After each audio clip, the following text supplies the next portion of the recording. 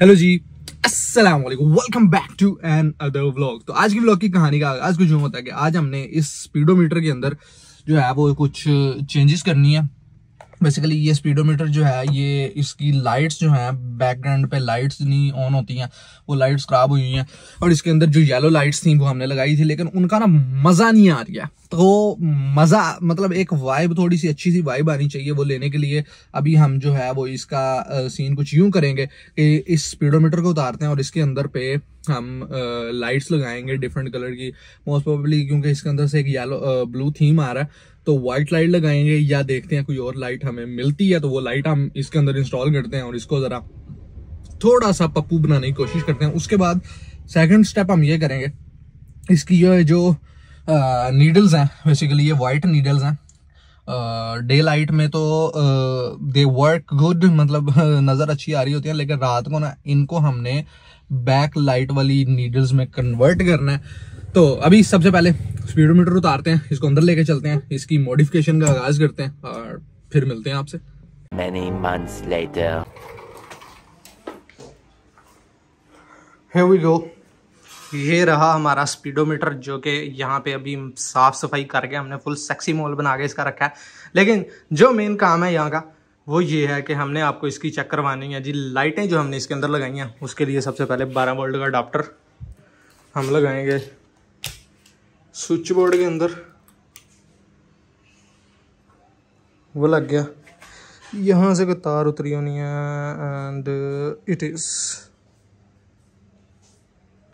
एक मिनट। ये रहा हमारा प्यारा सा स्पीडोमीटर जिसको हमने साफ़ सूफ करके बिल्कुल चमका के यहाँ पे रख दिया। अभी यहाँ से ये बटन ऑन करते हैं 12 वोल्ट अडाप्टर से हमने इसको लाइट दी है और ये लाइट इसकी ऑन हो चुकी है। ये हमारा रिमोट के साथ ऑपरेट होगा। इसमें सेवन कलर्स हैं। वैसे एट हैं, लेकिन ऑलमोस्ट सेवन कलर्स जो हैं वो कलर देते हैं। सबसे पहले white blue green red orange ये येलो टाइप आएगी, लेकिन ग्रीन का ही शेड देता है। लाइट ब्लू पर्पल पर्पल भी ऑलमोस्ट ब्लू का चेंज देता है, ये वाइट है। ऑलमोस्ट जो है, वो सिक्स और सेवन कलर्स इसमें चेंज हो सकते हैं। बेसिकली इसमें कलर्स का थोड़ा सा इशू इसलिए भी है, क्योंकि ये है एक प्लेट जिसके अंदर से अगर हम लाइट वाइट लाइट गुजारें तो ये एक ब्लूइश शेड देती है, इसकी जो अपनी प्लेट है। ये एक एक्स्ट्रा थी हमारे पास, इसलिए आपको चेक करवा रहा हूँ। तो जब हम इसके अंदर से डिफरेंट लाइट्स गुजारते हैं तो इस ब्लू शेड की वजह से वो अपना थोड़ा सा टेक्सचर जो है मतलब अपना अपेयरेंस जो है, वो थोड़ी सी चेंज कर देती हैं। तो यही सेम काम करवाने के लिए आपका पूरा स्पीडोमीटर मोंटगुमरी रोड या मेंटगुमरी रोड जो भी आप कहना चाहें, वहाँ पे लेके गया था, ताकि हम इसको एलईडी करवा सकें। तो वहाँ पे हमें इसी काम के चार हज़ार रुपये मांगे गए थे, और उसमें भी सिर्फ़ सिंगल लाइट लगाई जानी थी बैकग्राउंड पे, जो कि मैंने आपको सबसे पहले चेक करवाई है। फिर से करवा देते हैं। देव को ये इसके अंदर जो कि बैकग्राउंड में वाइट लाइट ऐड करें तो एक ब्लूइश सा शेड आता है। यही सिर्फ़ और सिर्फ़ ये एक शेड आएगा इसके अंदर। उसके चार हज़ार का वही तो है, फिर क्रिएटिव बंदा तो मैंने सोचा, यार, चार हज़ार रुपये जेब से डीले करने की बजाय हम कोई अपना जुगाड़ लगाते हैं हिसाब तक लगाते हैं चाहे सस्ते में काम हो जाए। तो ऐसे ही जेन में आया। क्योंकि लास्ट टाइम हमने कोरे को एटमोसफेयर लाइट या डिस्को लाइट्स भी कह सकते हैं, वो लगाई थी हमने इसके अंदर। तो वो एक पेयर जो है, वो बचा पड़ा हुआ था एटमोसफेयर लाइट्स का, चार पीसेज होते हैं उसमें। अभी आपको चेक करवाते हैं कि वो कैसे हमने इसके अंदर फिट किए हैं और ये काम हुआ। अभी ओपनिंग सेरेमनी करते हैं और आपको चेक करवाते हैं कि इसके पीछे हमने लाइट्स लगाई कैसे हैं। तो हेयर वी गो ये देख सकते हैं आप, इसके बैकग्राउंड पे लाइट्स लगी हुई हैं। अगर इसको हम वाइट में करें तो ज़्यादा अच्छे से नज़र आएँगी, ये। ये लाइट लगी हुई है, ये इधर से आपको बेहतर तरीके से नज़र आ रही है। एल्फी के साथ हमने इसकी बैकग्राउंड पे सारी लाइट्स लगा दी हैं वो। बैक से आपको दिखाऊँ तो दो ये, तीसरी ये और चौथी ये। चार लाइट्स जो हैं वो इसके अंदर एंटर हुई हैं और यहाँ पे ये इसको बैकग्राउंड से ग्लो अप करेंगी। बाकी हमने इसकी बैक से सारी तारों को इकट्ठा करके यहाँ पे टेप कर दिया और इसकी लेंथ जो है वो छोटी कर दी है ताकि हम इसको बड़े आराम से गाड़ी के अंदर फिट शिट कर सके। फाइनली आफ्टर थोड़ी सी मेहनत, हमने स्पीडोमीटर को जो है वो सेट वेट कर लिया वायरिंग भी इसकी थोड़ी सी मतलब मैंने अटैच कर ली अभी आपको चेक करवाते हैं। जैसे ही हम स्विच ऑन करेंगे, इसके अंदर लाइट्स ऑन हो जाएँगी। लाइट हुई नहीं on boys here we go ये हमने स्विच बंद कर दिया। ये हमने स्विच ऑन कर दिया, इसमें बैक एंड पे लाइट्स ऑन हो गई हैं।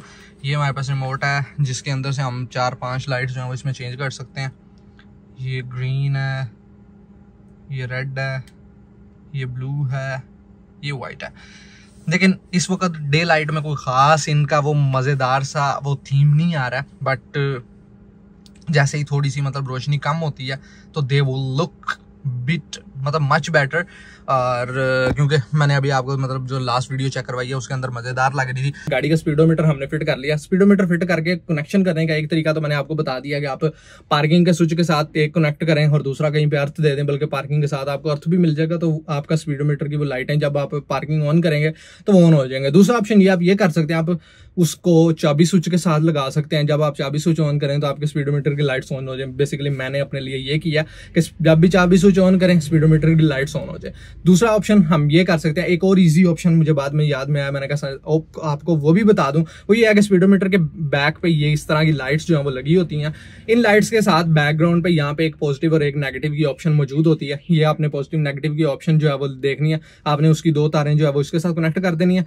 बशर आपने इसको खराब कर देना इस लाइट को, क्योंकि ये लाइट जो है वो उसके अंदर अगर व्हाइट लाइट उसके अंदर आएगी तो उसके जो कलर का कॉन्ट्रास्ट है, उसको कम करेगी या खराब करेगी, इसलिए आपने ये खराब कर देनी है, ये खराब लाइट ले लेनी है। उसके साथ यहाँ पे आपने कनेक्शन देना है और इसको स्पीडोमीटर के अंदर फिट कर देना है, जिससे आपकी वो लाइटें जब भी आप स्पीडोमीटर की लाइट मतलब पार्किंग ऑन करेंगे तो स्पीडोमीटर की लाइट्स ऑन हो जाएँगी।